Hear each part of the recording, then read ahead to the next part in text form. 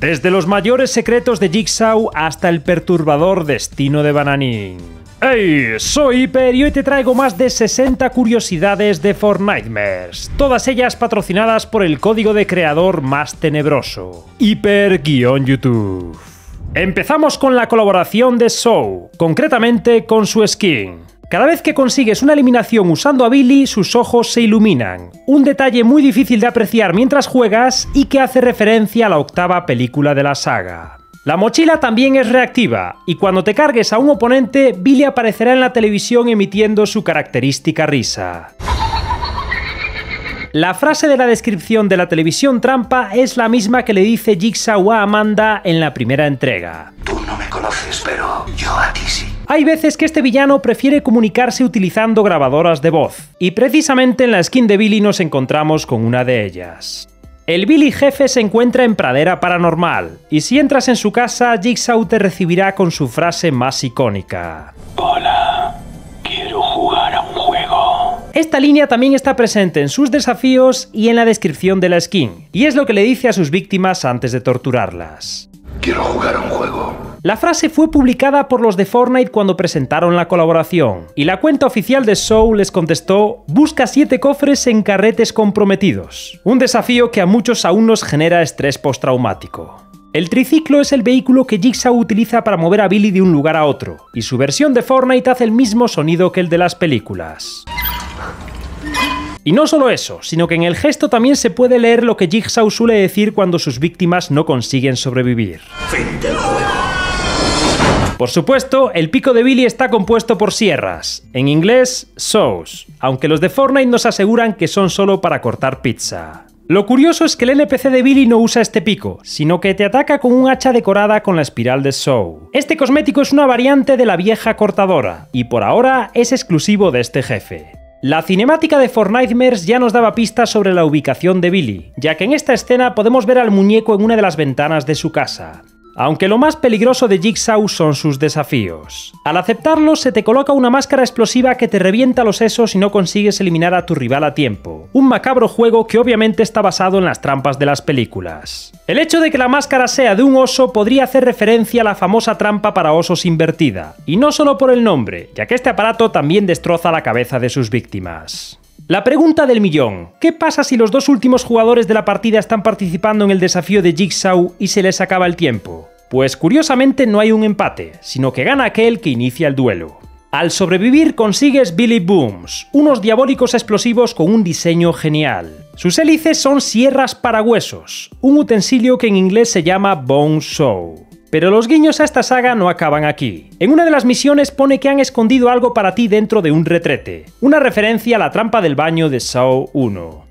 Pasamos a otro de los invitados estrella de este Fortnitemares, Leatherface. El diseño de su skin está basado en el de la primera entrega de La Matanza de Texas, un filme de 1974. Al final de esa película, Leatherface se marca unos pasos prohibidos con la motosierra, y precisamente ese extraño baile es su gesto de Fortnite. Honestamente lo han clavado. Mientras Leatherface baila, una de las protagonistas escapa en una camioneta, una escena que han referenciado en esta misión que te pide que conduzcas hasta dejar de oír sonidos de motosierras. Leatherface tiene la macabra costumbre de usar máscaras hechas con la piel de sus víctimas. Puede que esto suene demasiado fuerte para Fortnite, pero lo cierto es que el villano le ha arrancado la cara a Bananín y la ha usado para hacer un envoltorio y un cuadro, aunque sinceramente al plátano no parece importarle demasiado. Esta mochila es reactiva y Bananín se enfadará cada vez que hagas daño a un oponente. Se ve que no le gusta la violencia. Todo lo contrario al jefe de campo calabaza. Su cuerpo está compuesto de tallos y cáscara de calabaza, así que es probable que en realidad este personaje sea una entidad controlada por el monstruoso fruto que hay cerca de él. Esta no es la única calabaza curiosa que hay en esta ubicación. Todas las estatuas han sido poseídas por calabazas, pero una de ellas es tan malvada que le ha clavado su lancita a una compañera y a su derecha tenemos a otra que ha sido atravesada por una flecha gigante. Según esta pantalla de carga, todas las calabazas llegaron a la isla a través de grietas, seguramente provenientes de estas balizas que podemos encontrar en lugares como campo, carretes y glaciar. En el jardín del hotel nos topamos con Eduardo Manos Tijeras, quien ha trabajado muy duro para recrear varios de los setos que aparecen en su película. Las manos, el monstruo del lago Ness, la mujer y el dinosaurio, el cual por cierto es la mochila de la skin. Su gesto escultor de hielo está basado en la escena en la que Eduardo está creando un ángel de hielo y Kim baila bajo la nieve que cae de él.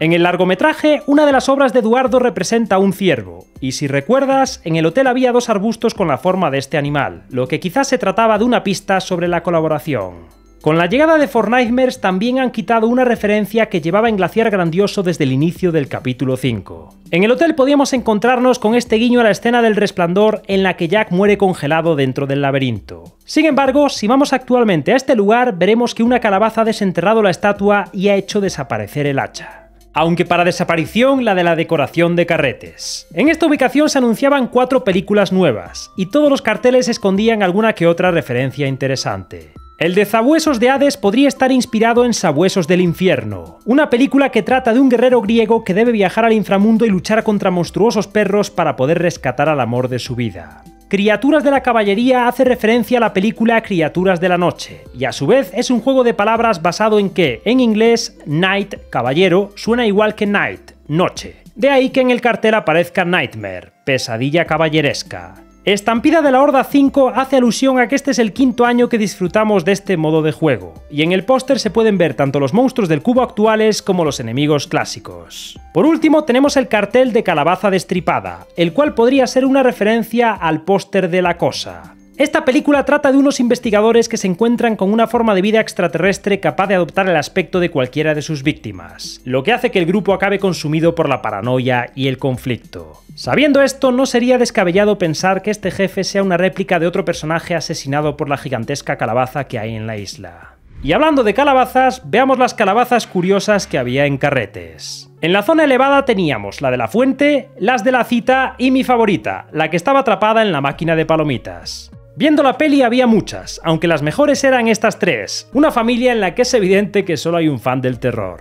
En este lugar aún podemos encontrar al Bananín Pelado y al Rey Calabaza, dos NPCs con un comportamiento un tanto extraño. Bananín vende una escoba pero te ataca con un lanzacohetes, mientras que el Rey Calabaza te vende el lanzacohetes pero te ataca a pico, lo cual no tiene ningún sentido. Una referencia que pocos pillaron es que el adorno que había encima de la pantalla es el mismo que decora la puerta del cementerio en Pesadilla antes de Navidad. Si no has visto la película, puede que no te hayas dado cuenta de que Jack Skeleton y el Rey Calabaza son la misma persona, y tanto su mochila como su ala delta aparecen durante la canción de This is Halloween. Al usar su gesto verás cómo salen fantasmas de las calabazas, tal y como ocurre durante el lamento de Jack. La cabeza del rey calabaza está iluminada por dentro, y si te pegas a una pared verás cómo la luz se proyecta contra ella, una posible referencia cuando Jack se prende fuego. Acompañando al rey calabaza llega Sally, y su mochila verruga de gusano viene de este momento. Lo mejor de esta rana es que es reactiva, y cada vez que te tomes una poción, eructará. El pico de Sally es este cucharón con agujeros, el mismo que usa en la película para hacer como que toma la sopa envenenada y así engañar al Dr. Finkelstein. Continuamos nuestro viaje en Pradera Paranormal. Esta ubicación recuerda bastante a Latifundio Letal, ya que tiene muchos elementos similares como el establo, los dos silos, el granero y la casa grande de dos pisos. En el de arriba hay una habitación que está completamente al revés, y aunque muchos creen que se trata de una referencia a Stranger Things, lo cierto es que no es más que un detalle spooky que ya han añadido en años anteriores. Cerca de la televisión de Billy hay un cuarto con un osito, y si te fijas en la pared verás que el peluche proyecta una sombra muy amenazante. Pero la casa guarda un secreto más. Rompe este armario para descubrir un pequeño cuarto en el que hay un montón de peluches y un osito con cabeza de calabaza, siendo este último un guiño a los que había en la granja del capítulo 1.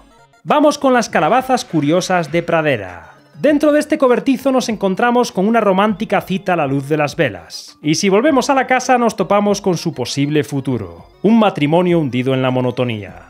Por último, pegado a las vías está este mastodonte rodeado de multitud de ataúdes altavoz, un sitio ideal para marcarse un baile. Estos ataúdes están repartidos por todas las zonas de Halloween, y de vez en cuando emitirán sonidos que te pondrán los pelos de punta. Una de las cosas que más miedo da es sentir que alguien te está observando, algo que notarás cuando pases cerca de este espantapájaros tan chismoso. Hablando de espantapájaros, por alguna razón no te podrás esconder en los que estén fuera de pradera, como por ejemplo este de aquí. Ya que estamos en refugio rebelde, bajemos al sótano para asistir a la clase del profesor espantapájaros. La mayoría de los alumnos están atentos a la lección, pero hay uno que se ha portado mal y ha acabado castigado en la esquina del aula. Pero en esta mansión hay muchas más calabazas curiosas. Cerca de los estudiantes tenemos a una dándose un baño en un caldero. Varias han acabado siendo presas de las arañas. Otras vigilan desde las ventanas. Hay un montón decorando la fuente del jardín y en el ático encontramos unas cuantas a las que aún no les han dibujado la cara. Cerca del refugio podemos encontrar a un espantapájaro saliendo de su propia tumba, lo que podría ser una referencia a alguna película de zombies o simplemente una decoración más. A pocos metros de allí está el famoso easter egg en honor al coche que se quedó atascado entre dos árboles. Un monumento que ha sido actualizado con un espantapájaros que parece estar bastante asustado. Su vida sería mucho menos estresante si viviera en embarcadero, ya que allí los espantapájaros se pasan el día o bañándose o durmiendo en la cama de Hope. Como se entere de esto último quien yo me sé, tenemos nueva teoría. Mientras la esperamos, toca ver las últimas calabazas curiosas de hoy. Dentro de la antigua mansión de Peter hay dos discutiendo sobre quién se merece más este cofre, y si subes al ático verás otras tres a punto de echarse la siesta. Fuera tenemos a una decorando la chimenea de Hope, dos que no han sabido controlar su embarcación y han acabado en un tejado, y mis favoritas, las calabazas que hacen referencia a los Poki, unos enemigos de los juegos de Mario que justamente se suelen encontrar en niveles del desierto. Aunque evidentemente la calabaza que más llama la atención de la isla es la de la Estatua del Olimpo, un lugar en el que ahora vale más la pena aterrizar, ya que los de Fortnite han añadido un cofre y una lanzadera. Los dioses ya no están en la isla, pero el diablo sí, y este encaja perfectamente con la temporada actual. Mephisto tiene presa el alma de la madre de Doom, y si le hablas con este personaje te dirá, en mi reino aún retumban los lamentos de tu madre. Y se la pela. Pero esta no es la única interacción interesante de Mephisto. A Wanda le pregunta por sus hijos sabiendo perfectamente que fue él quien los destruyó. Si le hablas con el Doctor Strange, te dirá que ningún hechicero supremo es rival para él, algo que no es cierto, ya que Stephen venció a Mephisto varias veces. A Ghost Rider le pregunta si le satisface el trato que ha hecho, ya que fue este demonio quien le dio sus poderes. Y a Shuri le comenta que no volverá a perder contra otro Black Panther, ya que en los cómics Chala lo noquea y le arranca el corazón. Al llegar a la isla, Mephisto usó su poder para cambiar el aspecto de todo el inframundo, tiñendo de rojo no solo el río Estigia, sino también los pilares, las llamas e incluso el fuego. Este demonio también cambió el color del líquido de la forja de Doom, aunque creo que esto último no valió para absolutamente nada. Mephisto fue quien creó a la hamburguesa fantasma, un personaje que esconde un easter egg que pocos conocen. Si te fijas en la suela de sus botas verás que pone Well Done, una referencia a que la carne de esta hamburguesa está muy hecha y bien cocida. Su pantalla de carga ya nos avisaba de la llegada de Mephisto y posiblemente también de la invasión de las calabazas, aunque lo cierto es que estas raíces pueden ser las que ya estaban en el inframundo. Una de las colaboraciones más esperadas de este Fortnitemares fue la de los villanos de Disney. El gesto del Capitán Garfio hace referencia al cocodrilo que se comió su brazo izquierdo, el cual quedó tan encantado con su sabor que desde entonces no para de perseguirle. Por suerte para Garfio, el animal también se tragó un reloj, por lo que el pirata es capaz de saber si está cerca gracias al sonido.